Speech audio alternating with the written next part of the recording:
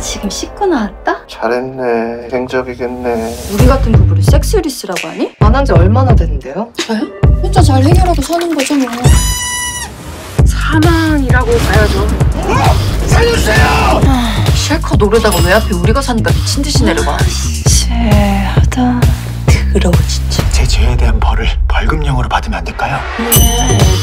그게 뭐야? 내 블랙리스트. 우리 이제 이렇게 살지 말자.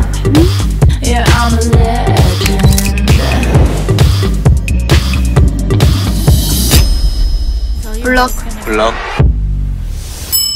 난 폰이 바지라고 봐. 폰이 두 개가 됐다는 건 바지가 두 개가 된 거거든. 그럼 택배 기사님들은